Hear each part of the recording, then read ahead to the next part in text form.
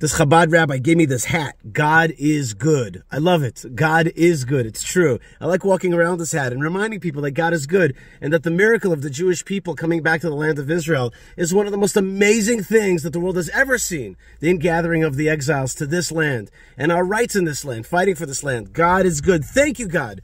But it's also important to remember that evil is bad. God is good, but evil is bad.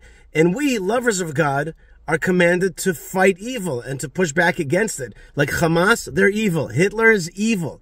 And we got to fight those guys and eradicate them. We got to fight them with no mercy. We got to get rid of them because they're the ones that suppress the good. This is important to understand. Evil suppresses the good. When you fight evil and push it back, good can come out. Good can live again.